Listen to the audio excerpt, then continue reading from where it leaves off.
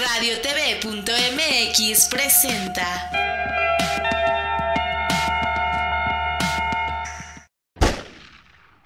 Locas enamoradas. ¿Cómo están? Bienvenidos a su programa de Locas enamoradas donde la mujer no tiene censura. Yo soy Mariana y estamos un viernes más con todos ustedes después de todos estos eventos mortíferos. No, no es cierto. ¿Cómo está mi justiciera? Ay, muy cansada. Mi esqueleto ha andado muy agitado todos estos días. Que tiemble el esqueleto. Sí, porque aunque usted me vea así como muy vivita, este, y coleando, también tengo este mis muertes. Hola mujer, ¿cómo están? Recuerda, si te lastiman, te engañan o te mienten, llámame, pronto iré. Soy la justiciera. G. Oiga, y platiquemos un poquito de todo lo que hicimos este fin de semana. ¡Qué bárbaro! De Día de Muertos, de Halloween, todos los festejos, las fiestas. Tuvimos función. Tuvimos función en Coyoacán. Hay unos cuantos, este... Un mundanal de gente. Imposible salir con el carro caminando de milagro. Sí, no, impresionante. La verdad es que tuvimos muy buena... Muy, buena afluencia. público y muy, muy buena afluencia. De hecho, sábado y domingo tuvimos unas funciones sensacionales. Ya las después, las después tuvimos ahí un par de tropiezos y un par de temas, pero bueno. Nos llovió. Nos llovió esto. No solo nos llovió físicamente, sino también nos llovió de otras. Pero bueno, son los avatares del este del espectáculo, ¿no? Espectáculo, Sin esas cosas no tendríamos la sal y la pimienta para para para vivir nuestro tema de la actuación, ¿no? Pero qué estrés. Qué estrés, ¿Qué estrés? vida, pero sí, pero cuando ya sale esa escena, ese estrés es cuando lo comunicas, cuando lo conviertes en otra cosa y, y sale el arte. Pues ahora sí que ya ni modo, la función tiene que continuar, si no, ¿cómo le hacemos? ¿Y qué cantidad de este de, de altares pusieron, altares, verdad? Hermosos. Una exposición en la Reyes Heroles preciosa de eh, marionetas de Catrina. Sí. Estuvo súper linda. Luego nos tocó el desfile el, el 2 de noviembre. No, qué tamales. Oiga, me compré unos tamales. Ah, ya veo Ya veo por qué se ve más cachetosita. ya me está ventaneando, se han dado cuenta. Con ella no se puede. Este, ¿qué tamales? Porque eh, todo esta, mm, eh, lo que pusieron de exposición, bueno, unas cosas muy bonitas, pero además, ¿qué tamales? No los comiste, ¿verdad? es que a mí no me gustan los tamales. A mí sí. Pero bueno. y sobre todo los oaxaqueños que son un poquito más blanditos y más húmedos. Los otros no porque son muy secos. bueno, dejémonos de tamales, calaveras y calacas. No, no es cierto, no dejemos calaveras y calacas a un lado, pero yo le quiero dar la bienvenida a Rebeca Ramírez. Ella es psicóloga y astróloga ya la hemos tenido por aquí en el programa. Muchas gracias, Rebeca. Hola, Rebeca. Mariana, Bienvenida. Hola, ¿qué tal? ¿Cómo están? Con mucho gusto de estar aquí de Y muy contentas de tenerte por acá porque siempre nos estás informando de cosas que de pronto dices, ¿es en serio? Mi querida Rebeca, recuerde usted que soy punto G. Cuando me diga usted la justiciera. Tengo que hacer la precisión. Eh, tiene que hacer la precisión del punto G. no, no, lo digas. Oigan, un saludo para Vero. Eh, tuvo ahí también una Así que Verónica nos ha abandonado. Ya, ya, ¿cómo le hacemos? pues sí, ya. Pero bueno, muy bienvenida de nuevo. Gracias. Y vamos a hablar de la astrología y la muerte. Y mi primera pregunta es, ¿por qué en octubre y noviembre se dan como esta serie de sucesos de entre Día de Brujas, eh, mm, eh, Día de Muertos, de los santos, los niños difuntos, ¿cómo se dice? los niños, sí, el de los este, santos difuntos. ¿Por qué finales de octubre, principios de noviembre? ¿Tiene algo que ver con las estrellas, el sol, la luna y todo esto? Bueno, sí tiene que ver. De hecho, ahorita nos encontramos con el, eh, este, en el signo de Escorpión, que en la astrología representa la casa de la muerte. Entonces, pero esto es una tradición que data desde hace mucho. O sea, por ejemplo, los celtas. Eh, festejaban, o sea, este, ya este, eh, digamos, había ya estas festividades un poco para eh, anunciar, digamos, la llegada del invierno y lo que ello implica, que ya el invierno, pues es precisamente una muerte, ¿no? De, toda una la estación época anterior, de la primavera, del verano, del otoño, de la cosecha. Entonces, nos, de alguna manera, nos empezamos a adentrar a una época en la que, bueno, pues de alguna manera no hay esto, ¿no? Sino hay el frío, o sea, todo lo que se asocia con la muerte.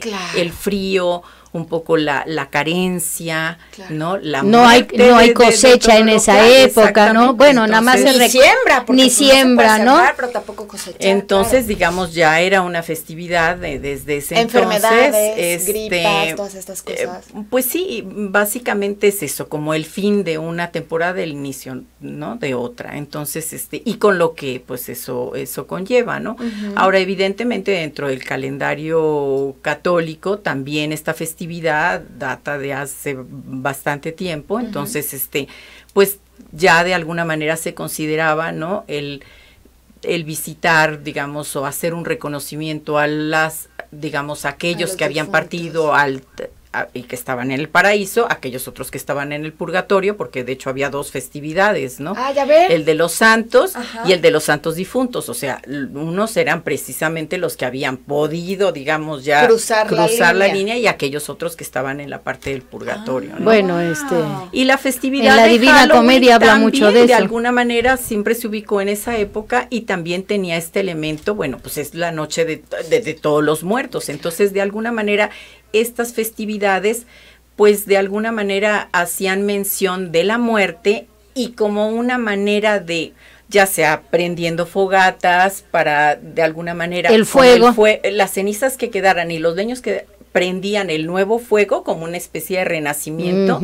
Y en otros casos pues era pensar en las brujas en los duendes y también mm, era una manera como ver la muerte de una forma más lúdica, ¿no? Como para enfrentarla y decir no, no sentir miedo. miedo. Aquí en el mundo prehispánico, pues también hay tradiciones este, que datan así de festividad del, de los muertos. En la cultura prehispánica, en los aztecas, en agosto era cuando se, se realizaban algunas festividades y sí había algunas representaciones que posteriormente derivan en esta figura de la Catrina y que más adelante, bueno, pues ya es... Este Esos que han sido, digamos, adherentes, no, eso no existía. Antes se fueron sumando cosas. Sí, no, la Catrina, por ejemplo, es a partir de Posadas, él fue el que la creó. Bueno, eh, exacto, enriqueció utilizando elementos efectivamente de figuras prehispánicas, como era la Dama de la Muerte, ¿no? Y ya, bueno, él le da su, su que de hecho Era, una parodia, porque eh, yo estuve leyendo un poco acerca de la Catrina y, y de hecho se llamaba La Garbancera. Ah, sí. Porque lo hizo un poco en, en parodia y en burla de los indígenas que dejaron de cosechar maíz y empezaron a cosechar garbanzo para sentirse un poco más europeos y tal. Y entonces por eso fue esta, como este medio burla, medio de decir, pues son indígenas, pero se sienten europeos y por eso estas plumas y, ponerlos así. Pero bueno, vamos a ir un pequeño corte, ya regresamos con mucho más de la astrología y la muerte y todos estos festejos maravillosos, porque aparte son muy lindos, me encantan. Sí, además son muy divertidos, ¿no? Pero después, eh, volviendo de, del corte, quiero comentarles algo y bueno, la opinión de, de Rebeca al respecto. ¿Qué va? Nuestras redes sociales. En Facebook de Locas Enamoradas y en Twitter arroba enamoradas TV. ¿Y tú dónde te pueden encontrar, Rebeca? Eh, mi correo es rebecaramg arroba gmail.com. No se vayan, regresamos con mucho más de todo este tema de la muerte. Locas enamoradas.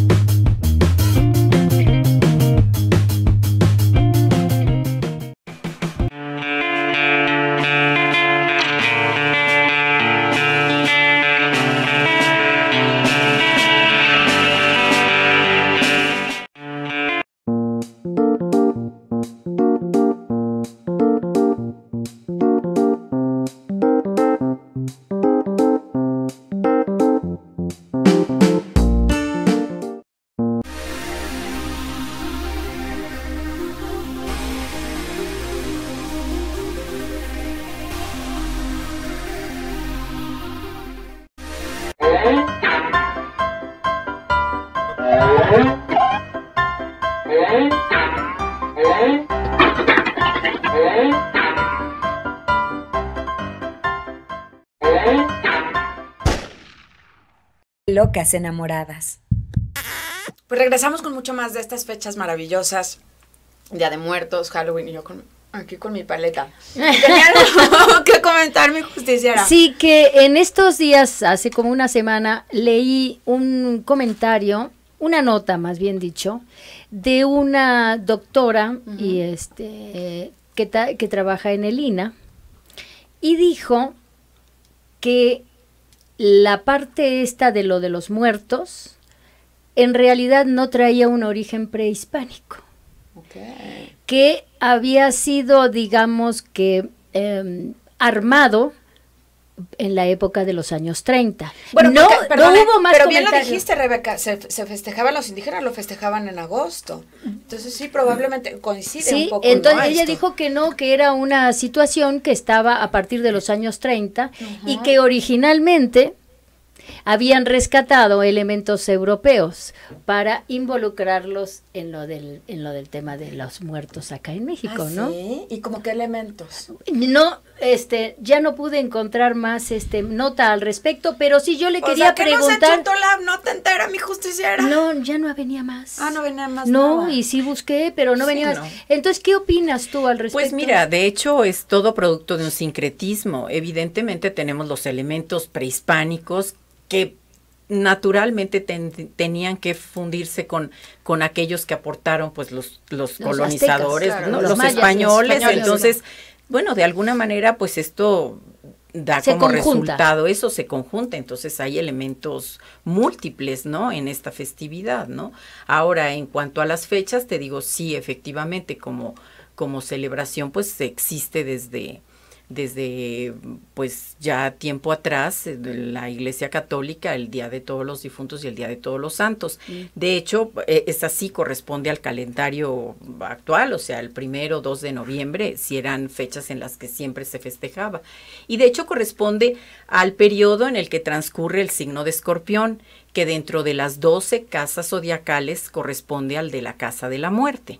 El de la casa de la muerte no, no una cosa así como, ay, la casa de la muerte, cuando paso por ahí me muero. No, no, no. Evidentemente no. Es una casa en donde hay muchos elementos que se estudian, pero entre ellos, pues bueno, el, el simple signo de escorpión representa eso, ¿no? La muerte y la posibilidad, digamos, de la transformación, porque finalmente la muerte es una transformación. Claro, pasa Entonces pasa a otro estado. Eh, eh, la muerte física es quizá la última de muchas muertes que se viven a lo largo de la vida, empezando por la del nacimiento, ¿no? Que es una separación que se da y hay una muerte de un estado que en el hay que un abandono, y entonces este pues más que abandono hay una muerte, hay una separación. entonces de alguna manera se da origen a un nuevo comienzo, al inicio de una vida nueva. Entonces eh, es una casa de vida y muerte, ¿no?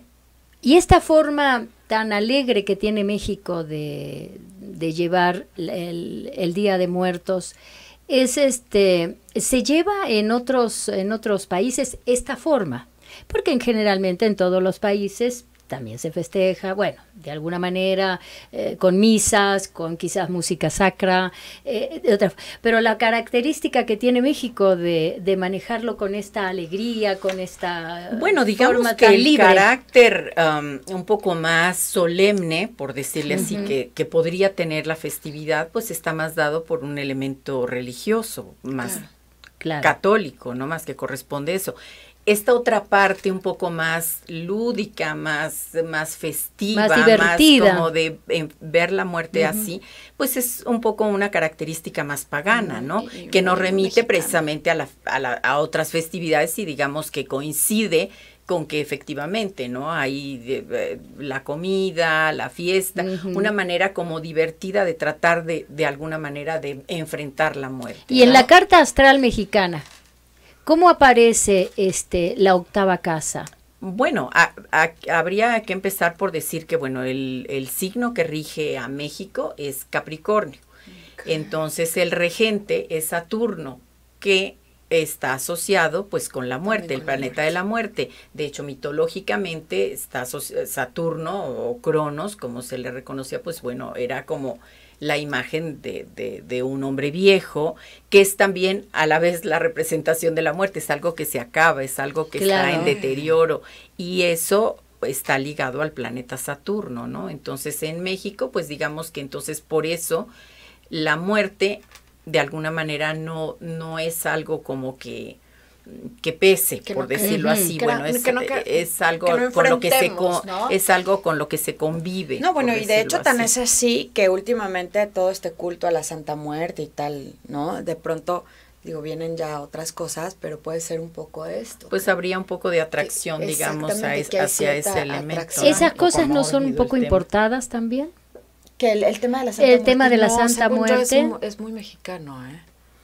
¿Sí? Pues no, la verdad no sabría decirte con respecto a la Santa Muerte, pero bueno, de alguna manera el, el hecho de que la muerte es, es parte de todas las culturas, pero aquí en México digamos que tendría además ese elemento, ¿no? adicional que bueno, por estar regidos por por Saturno, bueno, tenemos este también esta mezcla además también como de solemnidad, ¿no? Porque es bueno la conservación de de estos, digamos, este, de estas festividades y de este tipo de ceremonias. Claro. Ahora, el primero, bueno, el, me voy, el 31, el primero y el 2, ¿hay algo astro, en los astros? ¿Hay alguna? ¿Sabes de pronto hay, exactamente, hay una conjunción de estrellas? ¿Hay algo especial o no? Bueno, eh, los eh, fenómenos astronómicos pues están presentes siempre. Eh, lo, que yo decía anteriormente, que es que el signo de escorpión es el que, de alguna manera rige esta temporada. Entonces sí es la, la, representación de la casa de la muerte.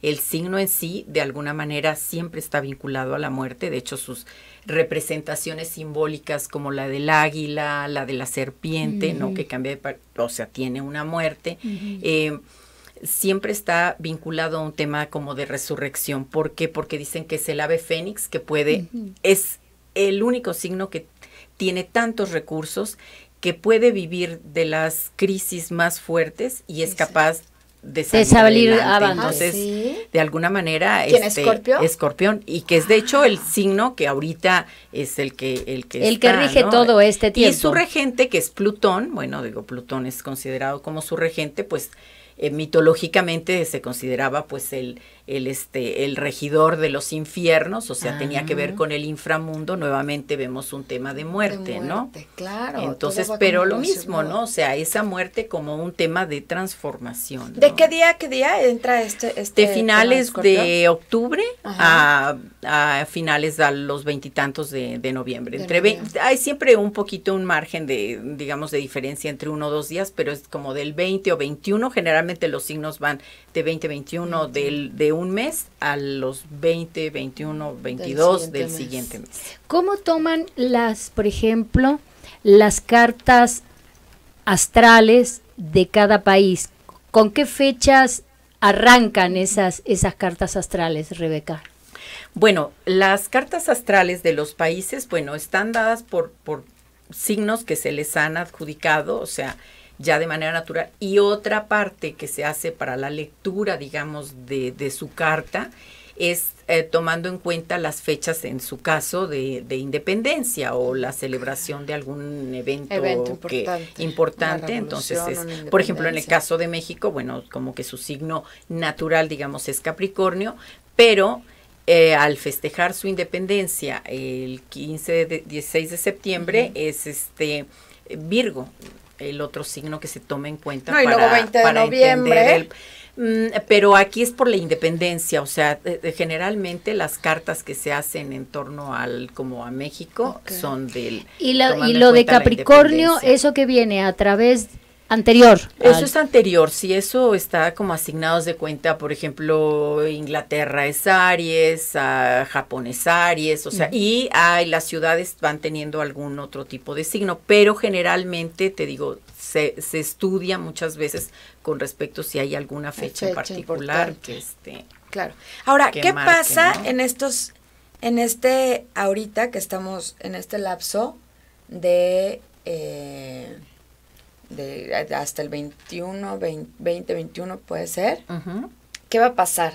¿Qué, qué, qué, qué hay, qué energía se está moviendo, hacia dónde vamos. Bueno, tenemos eh, algunos este, aspectos que se están haciendo que, bueno, que son, pues, de alguna manera este año ya se configuraba como un año un poco complicado en, en cuanto que, bueno, tenemos una posición precisamente de, de, este, que es del planeta Plutón con Urano, que están en cuadratura y ese, bueno, pues todavía va, va a tener cierta duración. A partir de septiembre empezó también otra cuadratura que se da, este, que digamos que son elementos disonantes entre ciertos signos y ciertos planetas, ¿no? Es una cruz en T que se hace entre Urano, entre Plutón y entre Saturno, ¿no? Entonces, son digamos, situaciones en las que se viven, pues, momentos difíciles, ¿no? Que generalmente están, bueno, pues, relacionados con temas económicos, con temas políticos. Sociales. De hecho, ese mismo tema de, de Plutón con, con Urano, bueno, trae transformaciones importantes. Generalmente es un aspecto que se ha eh, visto cuando ha habido cambios muy importantes en, en, el mundo, ¿no? O sea, la Primera Guerra Mundial, la Segunda Guerra Mundial. O sea, Urano, digamos que es un planeta que, que, que fuerza las situaciones o revolucionario. Urano es un planeta revolucionario, es un planeta quebrantador, es un planeta que trae cambios, que es como innovador. Y Plutón es un planeta que también hace cambios, pero de una manera mucho más profunda, porque precisamente siendo el regente de la casa octava, de la casa de la muerte, como decíamos, pues bueno, es una transformación muy profunda, ¿no? o pues, sea, sí, es una muerte y un renacer, ¿no? Es, un renacer, es una casa que está asociada a la muerte, al, a la sexualidad, este, a temas ocultos, eso es eh, también de alguna manera hay recursos mágicos, o sea, claro, la magia ahí también tiene mucho que ver. Ahorita todavía vamos a vivir todavía un periodo de de complicaciones, y pues lo vemos en el mundo, ¿no? A través de los acontecimientos tenemos situaciones en las que, bueno, pues sí se ven en juego. Ayer tembló, ayer tembló en, o tembló. En Italia, volvió a temblar. No, no, en Guadalajara, en mi ¿Ah, sí? en Italia volvió a temblar. En Italia volvió a temblar. Pero bueno. Muchos quebrantamientos de parejas, por ejemplo.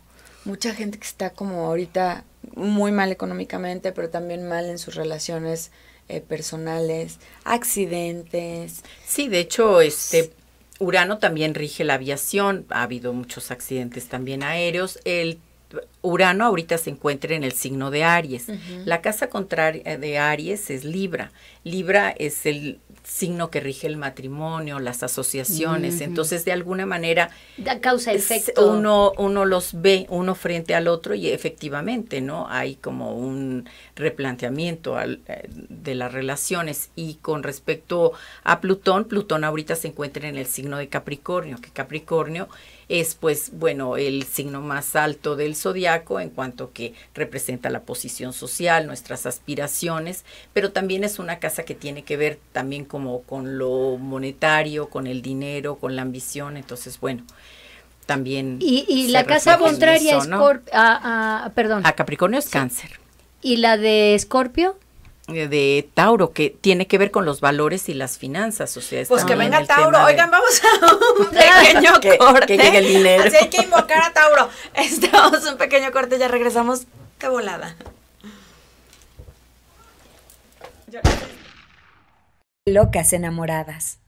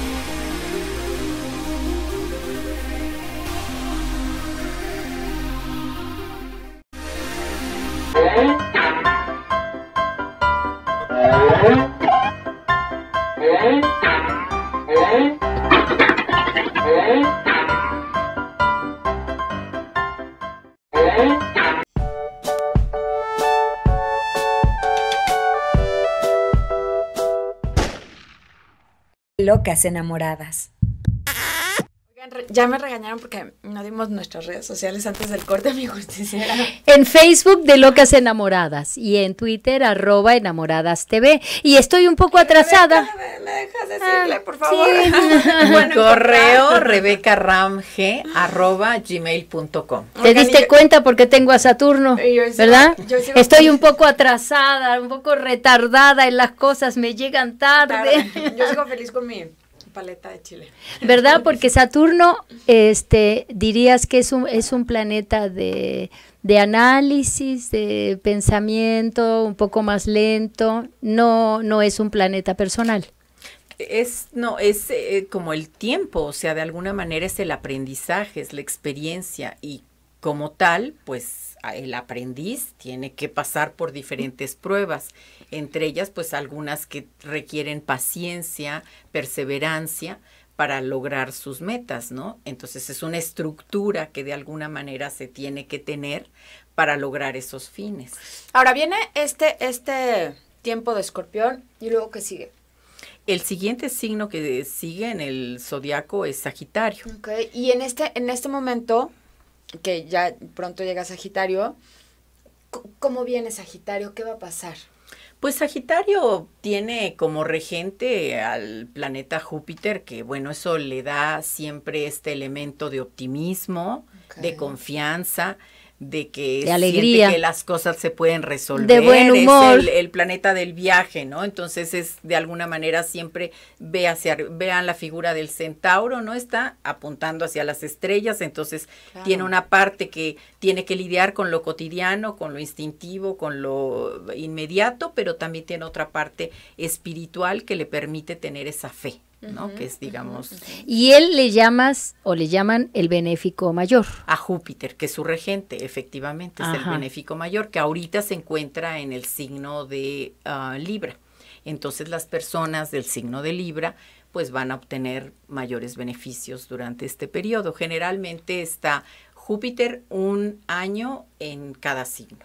Entonces, por Eso es lo que tarda en, salir de su retorno, exacto, digamos su ciclo se completa en un año. pues bueno, ya va en Libra, te falta. Te falta el como la mitad. Capricornio, sí, todavía falta. y eso también afecta a los signos del, del mismo elemento. Por eh, ejemplo, en, en, particular, digamos que beneficia a ese signo, pero eh, hace trino con los del mismo elemento, como bien dices, que son otros signos de aire, que son Géminis y el otro es Acuario. Ahora, hablando de, de, regresándonos un poquito a la, a la muerte y la astrología, ¿se puede por medio de la astrología decir en qué momento, por ejemplo, puede morir una persona? Si viendo la carta astral, tenemos, digamos, casas que están relacionadas un poco con este tema de la muerte. La primera que se ve es la casa cuarta, que tiene que ver con el fin de la vida, pero ahí vemos las condiciones materiales, o sea, esa persona cómo va, va a morir, qué condiciones materiales va a tener, si va a morir este pues rodeada de cierto bienestar o va a tener un fin más precario, como mm, menos afortunado económicamente. La casa sexta, que es la casa de las enfermedades, que también podemos ver, bueno, pues qué males le van a quejar, pero las enfermedades que pueden ocasionar la muerte, esas se ven en la casa octava, que es la casa de la muerte. Pero sí se puede llegar a, detectar o, mm. O, calcular el... Pueden haber eventos que sí te, te hablen de pues riesgo, ¿no? de muerte, o sea, eh, efectivamente que se haga algún aspecto muy complicado o muy difícil en, en el horóscopo y también pues existen los horóscopos solares, que son los que se hacen anualmente, que, que, van del cumpleaños, del cumpleaños del nativo, y a veces en esos solares se puede ver si hay algún peligro mayor que pueda presagiar la muerte. Yo, no sabía, o sea, la carta astral no nada más es como tu carta astral y es una de toda tu vida, sino se puede hacer anualmente. Sí, eso se llaman solares. Y también existen los progresivos, que esos estudian viendo el avance de los planetas, empezando por el Sol, de un grado por año. Entonces el nativo va este, nace con el Sol en determinados grados y vamos estudiando un, grado, el avance del Sol y los demás planetas de un grado por año, entonces vamos viendo cómo va evolucionando. ¿Y cuál es como más específico o cuál es el que te dice más? Eh, la carta, no, la carta natal, digamos, esa es la que va a Es la base. De hecho, es la base inclusive para hacer las otras. si ah, no tienes carta natal, no, no, no, no, puedes, no puedes hacerlas. Y si la persona no tiene el horario de nacimiento, ¿qué pasa con esa carta natal? Cuando sucede eso, eh, tomamos como referencia el zodiaco natural, entonces se le pone un ascendente Aries, que sería el, primer signo del zodiaco, y pues se elabora la carta porque de alguna manera, claro, eh, sirve para hacer muchas precisiones tener el horario exacto de su fecha de y su fecha de nacimiento, pero eh, también los planetas tienen posiciones astronómicas, bueno, y de acuerdo al año en que se nace, el mes que se nace y todo. Entonces, pues digamos que ya son indicadores también suficientes para delinear un poco la personalidad de la persona que consulte. Y teniendo, por ejemplo, esa carta astral, como decía Mariana, ¿no? Solar, anual. Esto, eh, eso sería un referente para la persona para poder saber cómo puede llevar su vida o qué puede hacer para mejorar o no hacer, para mejorar o no mejorar algunos aspectos de, que estén escritos en esa carta. Aprovechar de alguna manera las oportunidades. como dicen, información es poder, ¿no? Y finalmente si tienes este... De alguna manera es, puedes... aprovechar las oportunidades si hay años que, en los que hay un mayor beneficio en determinadas áreas, pues es preferible poder realizar actividades dentro de ese, si te dicen, ah, pues hay que evitar, ¿no? Determinadas cosas, pues bueno, eh, tratar un poco de, de, evitarlas. Digamos que uno de alguna manera podría cambiar un poco un destino. Yo creo que más bien, como dice Rebeca, aprovechar, ¿no? Si a lo mejor te dicen es momento de... que no manejes o que, Ajá, ¿sabes? A lo mejor de minimizar un poco los riesgos, porque hay a veces eventos que pues la verdad es que ya están, esos no se pueden cambiar. Y difícilmente se pueden modificar. ¿Has basado un poco tu vida en, estas cartas astrales? Pues mira, yo tuve la fortuna de, de, tener mi carta astral pues a temprana edad, mi, mi madre es astróloga Magnífica. y bueno, de alguna manera este sí tuve un acercamiento con estos temas desde muy temprana edad.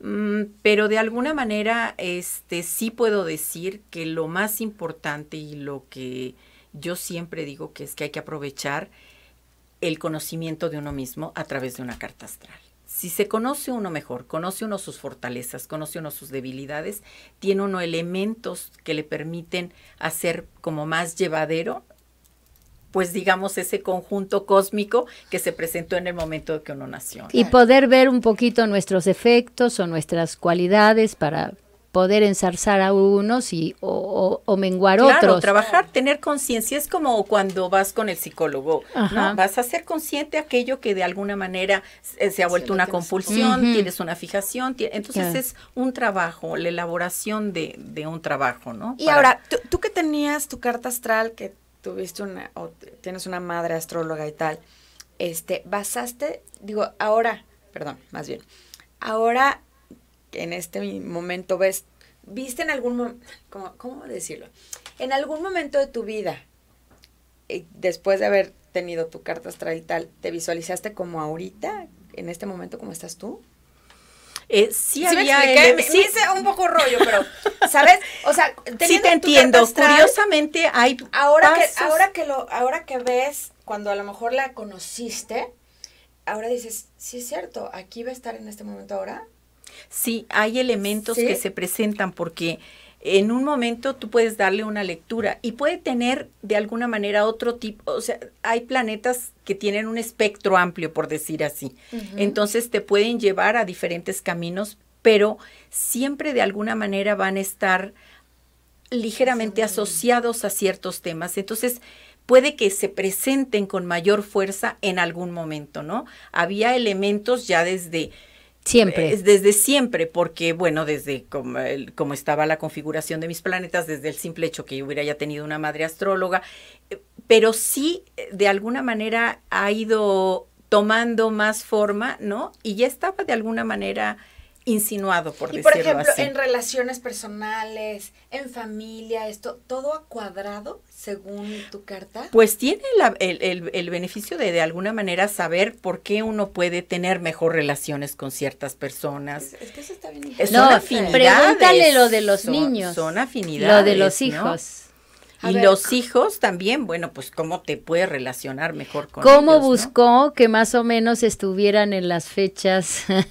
sí, aunque ya ves el destino. El destino, hay veces que nos ah, tiene preparadas eso. otras cosas. A ver, cuentan esos detalles. A mí el signo de escorpión me parece muy interesante justamente por eso, por ese enorme poder eh, que tiene en cuanto a recursos, eh, de su fuerza, su, su magia y yo decía, ay, a mí me gustaría tener hijos de escorpión. Entonces, bueno, de alguna manera ajustaste coincidían las fechas, claro, a eso.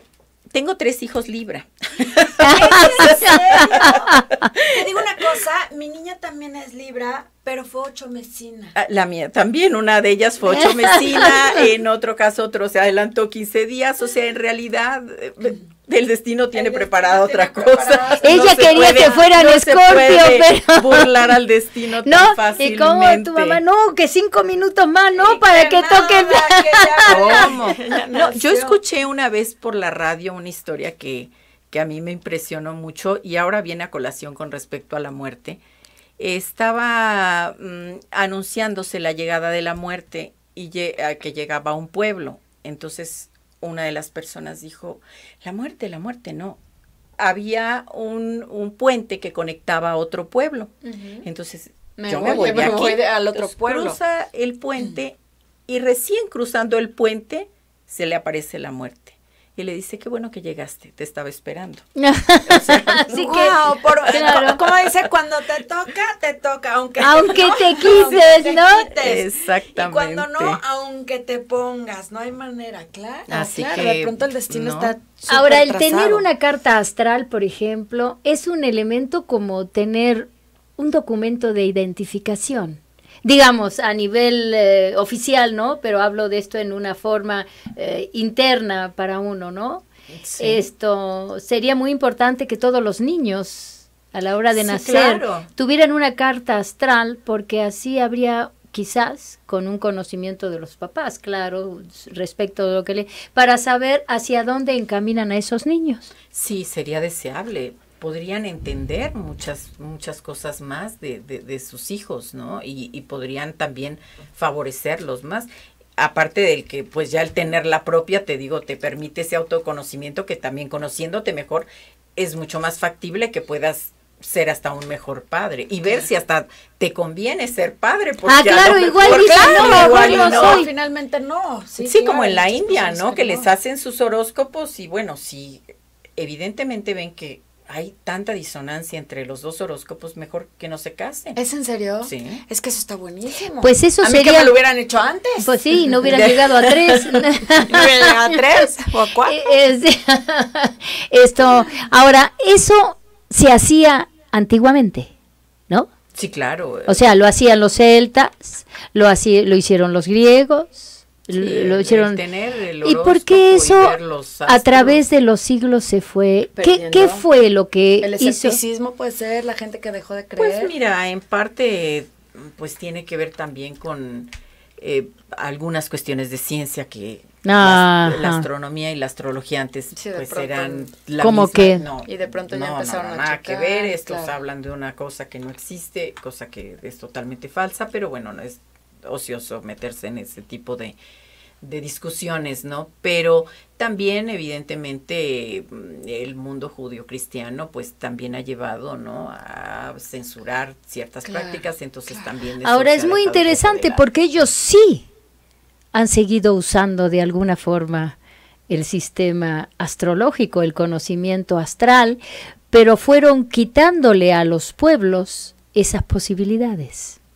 Sí, el conocimiento de los símbolos que están, por ejemplo, pues en, em, no sé, en la religión, en, pues bueno, se fueron volviendo como nada más privilegio de unos cuantos y se fueron, este, alejando, digamos, del resto de la población. ¿no? Y eso es una forma de, de ir quitándole al ser humano esa... Sí, claro. ese poder y... como decíamos, finalmente el conocimiento es poder y si vas quitando conocimiento vas quitando poder, ¿no? Y entonces esa sensibilidad se, se ha ido muriendo o desapareciendo, pues el vínculo del hombre con el cosmos, con la naturaleza, con todo eso, pues se, se, ha mermado. Eh, tenemos ahora la, la, era tecnológica que también de alguna manera desconecta, ¿no? Sí, nos tiene un poco alejados. Tiene Totalmente. en parte enajenado, no, no, no negamos sus, sus partes, digamos, sus partes benéficas, claro. claro, que han enriquecido y eso, pero también hay que atender otras cuestiones, ¿no? Y ver un poco más hacia adentro, porque estamos en el afuera, ¿no? Vivimos en una época en la que creemos que todo está afuera, tenemos que pertenecer a esto, a lo otro, pero hay que tener claro ese... La introspección. Eh, sí, la introspección y, y, y, revisar un poco qué pasa con uno, ¿no? Claro. Oigan, vamos un corte ya, este, rapidísimo, ya el último. Mi justicia en redes sociales. Oiga, hoy ando muy trabada. Pues sí, es que después del chupetín, digo, del... Ay, de la paleta. De la paleta. es que en algunos países le llaman chupetín y es una paleta. ¿Qué dijo? Es que no, no, he comido, no he desayunado, no he cenado, no nada, pero bueno, no sociales. En Facebook de Locas Enamoradas y en Twitter arroba enamoradas TV. ¿Y Rebeca? Rebeca Ramge arroba gmail.com. Ya regresamos de volada. Locas Enamoradas.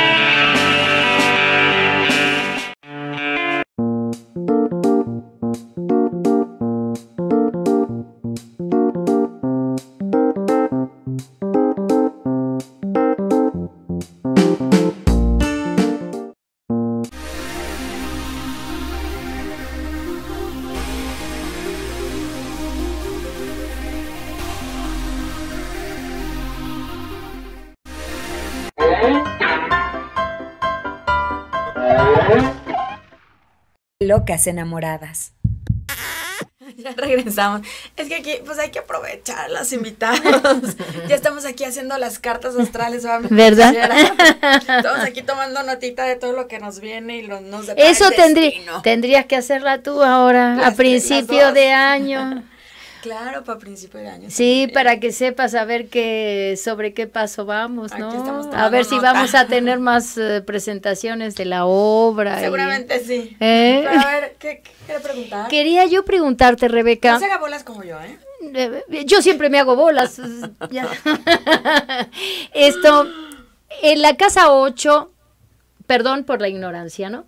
O, o, o Escorpio, eh, en todos los signos o en cuál signo o uh, se, potencia más toda su, su característica de, muerte, resurrección. Me vas a decir a lo mejor que en el mismo signo, pero en, la, en los otros, este, en las otras casas, en los otros signos, eh, ¿dónde tiene eh, mayor o menor este, potencialidad? Bueno, el horóscopo se, con, o se conforma por 12 casas. Todas las cartas astrales pues tienen esas 12 casas y en todos los horóscopos todos tenemos nuestra casa octava. Ah, o sea, todos tenemos que ver como con todo, con todos los signos. Sí, con todos los signos. Ah, Esa casa octava, si tuviéramos un ascendente Aries, sí correspondería al signo de escorpión. Ah. Pero evidentemente, pues no todos tenemos ascendente Aries, entonces varía y el, el, signo, digamos, que se encuentra en la casa octava puede ser otro, no escorpión. Ah. Eh, pero la casa va a dotar de esos elementos, o sea, cuando se hace la interpretación, uno va a buscar esos elementos que están referidos a la casa, como la muerte, la sexualidad, y va a asociarlos con el signo con el que esté para hacer la interpretación. O sea que puede estar el signo de Libra o de Acuario o de Pisces en la casa octava. Géminis, sí, eh, sí, eh, que sea, y sí lo que denota la casa octava es lo que le va a afectar digamos, a ese o beneficiar a, ese, a ese signo que le toca estar ahí. Y por ejemplo, la posición del sol puede estar ubicada en la casa octava, que entonces va esa persona, por ejemplo, pues exacto, va a tener como elementos, digamos, de escorpión, porque es la casa natural de escorpión, aunque se ah. encuentre en otro signo. Ah. Y también tenemos que estudiar al regente de la casa octava, que en este caso sería Plutón, en donde se encuentra en el horóscopo que estemos estudiando. Ah. Lo mismo que Saturno, como también mencioné, que tiene que ver con elementos de muerte eh, de, enfermedad, de, algún retraso y también de la experiencia, digamos, este, en donde se encuentre en el horóscopo. Y esto es, justo se determina y se, o se define en el instante que naces. O sea, de ahí, de ese momento es donde se deriva todas estas casas donde se ponen todos los planetas, donde se conjuga todo esto. Posiciones planetarias están dadas por el, momento en que naces, porque bueno, pues hay cálculos astronómicos, entonces las posiciones de los planetas, pues está que si Marte en tal lugar, o por ejemplo los planetas transaturninos, que son los que se mueven más lentamente, que son Urano, Neptuno y Plutón, esos se mueven mucho, por eso también se llaman planetas generacionales esos de alguna manera este, tardan un poco más. Entonces, por eso hay generaciones que se parecen porque tienen estos planetas en los mismos signos, más no en las mismas casas necesariamente, ¿no? Ah, claro. Ah, pero sí, este, esto, y ya dependiendo del momento, en el lugar y la hora donde se nace, es cuando se puede hacer un cálculo, pues, mucho más. Ahora, yo, yo, siempre tengo una como dudas y preguntas respecto a Está este, el horóscopo, que es el horóscopo, ¿cómo se llama este horóscopo? El, la carta natal. La carta natal. Pero también de pronto eh, tenemos un horóscopo chino o un horóscopo maya eh, y, se basan totalmente en fechas distintas y en, y en, eventos distintos de, de los astros y tal. Sin embargo, yo, por ejemplo, soy Pisces, pero soy conejo, pero soy liebre. Entonces, como que ¿Sabes? Todo tiene un poco que ver uno con otro. Sí, eh, aunque tienen elementos diferentes, sí hay en algunos momentos similitudes, claro, ¿no? Que tú, trabajas con, con, todos, con, por ejemplo, el horóscopo maya, con el chino. No, no, no, nada, más. con el, digamos, el horóscopo occidental, o sea, con el tradicional.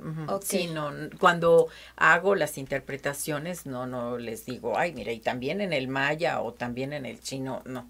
Eso, este, no, no, digo, sí tengo conocimiento de eso. Pero, has encontrado coincidencias. sí, en algunos casos sí, sí, sí, algunas veces he estudiado un poco los rasgos, ¿no? Porque vienen siendo como rasgos de personalidad.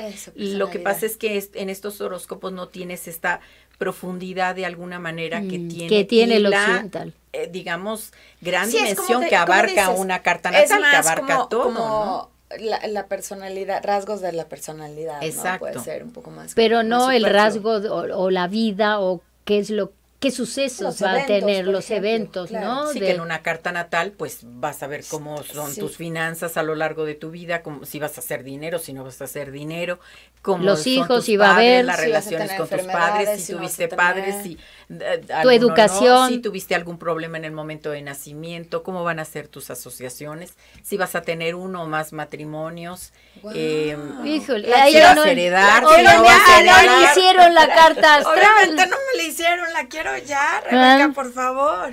Oye, ¿y cómo ves ahorita regresando al, a todo este terribles acontecimientos que de pronto estamos pasando y todos estos desajustes, ajustes, violencia, asesinatos, asesinatos de este, de este desapego a, a, lo que realmente importa y apego a lo que no importa, ¿no? Al materialismo y todo esto.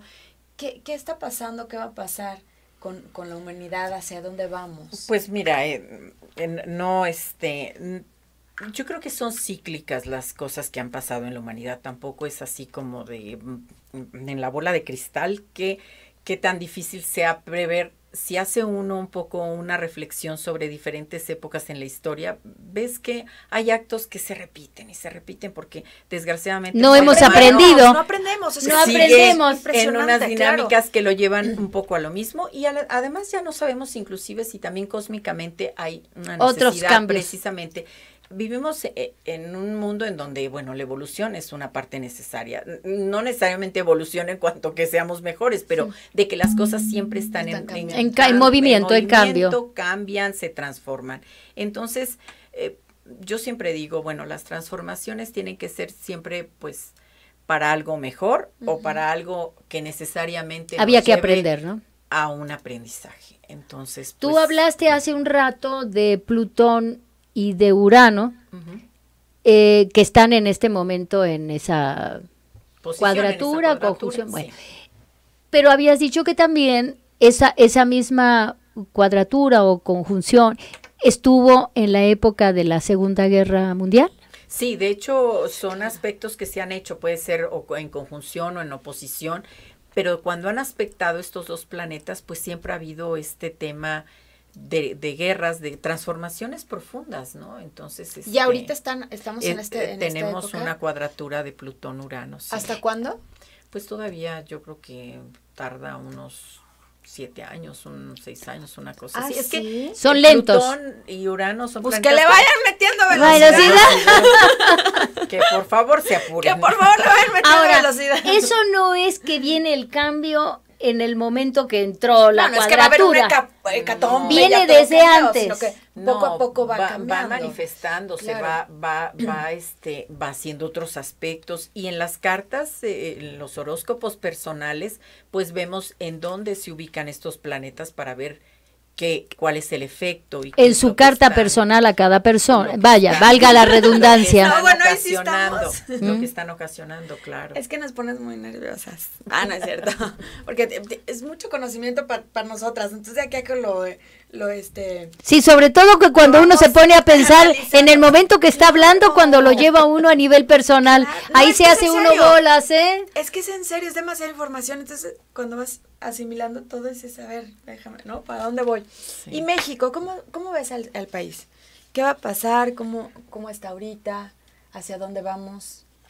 Pues bueno, aquí como vemos tenemos una situación complicada porque si eh, hay cambios, quizá no de lo más positivo que pueda haber, pero sí yo creo que, que México es un país que está pues yendo hacia una necesidad de transformaciones en algunas de sus instituciones. Imperante y urgente.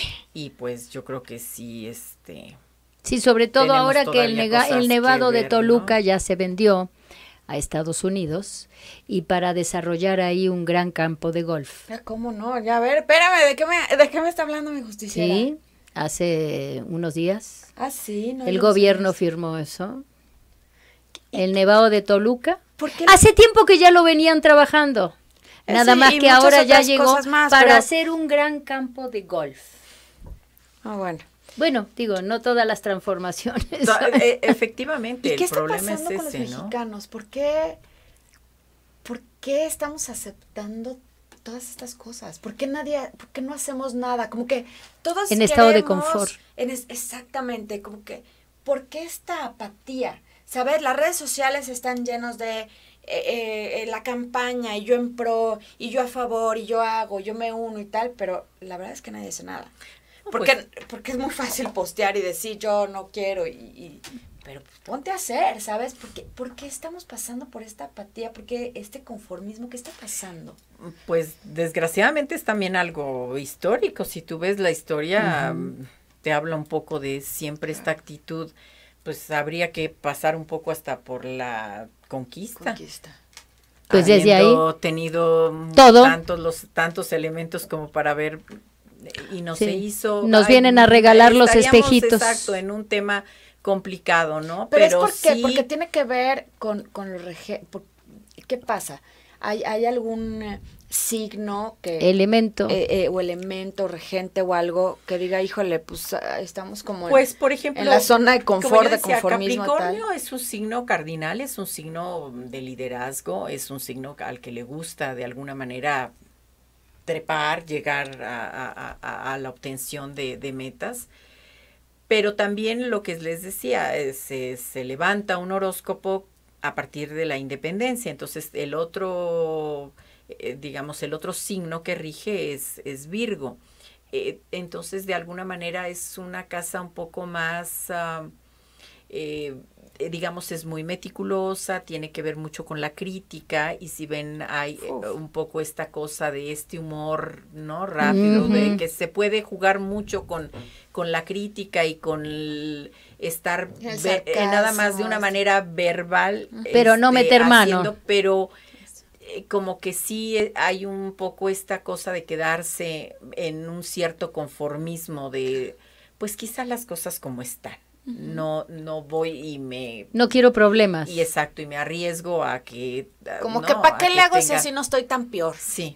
Así es. es un poco esto. Y queda un poco en eso, ay no, qué flojera. Y ahorita ir a, hacer no sé qué, no, ¿para qué? Si no va a pasar nada. O, o si hay un poco este elemento que que hace que, las cosas queden un poco así, ¿no? Y, y, Capricornio es un también un signo conservador, entonces como que finalmente siempre hay esta cosa de un poco de... Lo pienso.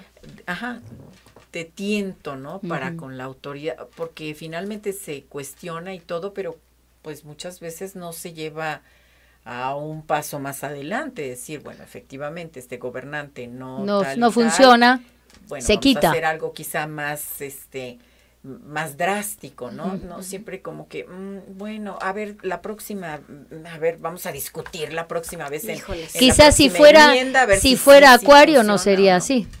No, pues sería quizá un poco más contestatario, pero claro. Mm, sí digamos que tiene elementos y son signos de tierra. Los signos de tierra toma su tiempo para tomar decisiones, ¿no? O sea, si hay un elemento de de retraso, digamos, ¿no? En el, en el hacer, no actúan impulsivamente, ¿no? No es así como Pisces, que actúa impulsivamente, o como Acuario. Muy emotiva, sí, no, bueno. ¿Y qué, qué recomiendas en esta época? ¿Qué, que alguna, algo que podamos hacer, hacia dónde podemos, eh, como como guiarnos en esta época de tanta confusión, de tanto... ¿Hacia dónde reflexionar? Sí, hacia dónde reflexionar, hacia dónde tenemos que ir. Pues yo creo que, por ejemplo, aprovechando esta cuadratura de manera personal, pues, eh, como les digo, habla de una transformación. Entonces, ver de manera individual qué aspecto o qué tendríamos que estar transformando de nosotros, ¿no? Que tener en primer lugar conocimiento. Y, y, pues de alguna manera eso nos va a permitir saber en qué punto estamos parados, qué es lo que verdaderamente queremos, hacia dónde queremos ir, eso de manera individual. Si quiero hacer esto, este trabajo, quiero seguir manteniendo esta relación o, o deshacerme de esta. en esta parte de mi vida y aprovechar ese, e, ese proceso de cambio, ¿no? Cada uno lo va a sentir de manera personal en alguna área, ya sea en la relación con su pareja, en la relación con los padres, en su cuestión financiera, en el área de trabajo.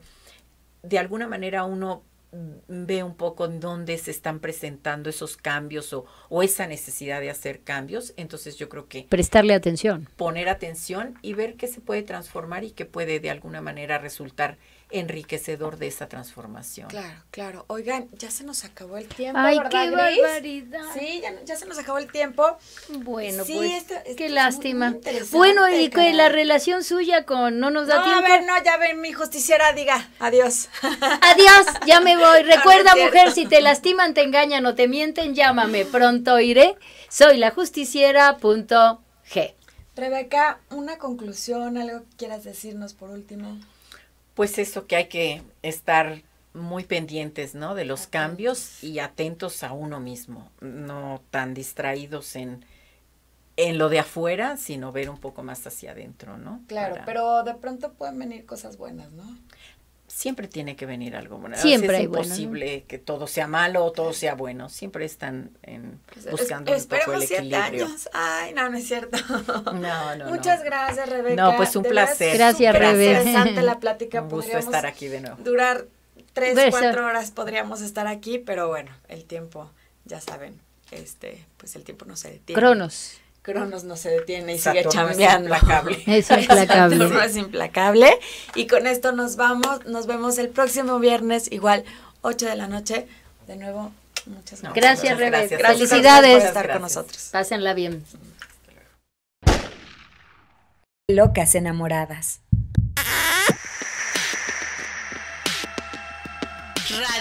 Radiotv.mx presentó.